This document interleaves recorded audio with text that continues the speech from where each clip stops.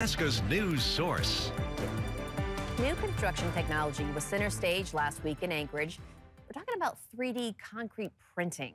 Nolan Ainsworth reports. Inside an Anchorage warehouse, they're printing. That orange machine is a 3D concrete printer. This is just another tool in our toolbox to basically advance the way of construction and add some possibilities to the way we're building structures now. The Cement Masons Union operates the machine. Before long, they show off a new wall. Union workers will be using the printer to build a concrete home in Nome this summer.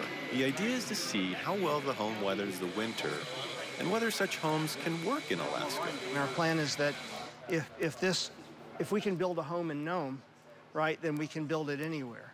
So the next step for Alaska is to make sure that there's an ecosystem of locally sourced material in Alaska so that you don't have to import the material for 3D concrete printing from the lower 48.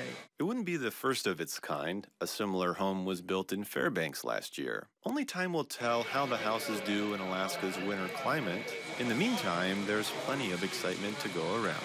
And anytime you bring in a new technology, that is a little bit different than the way you've always done something, it's going to create some buzz and energy around it. Nolan Ainsworth, Alaska's news source.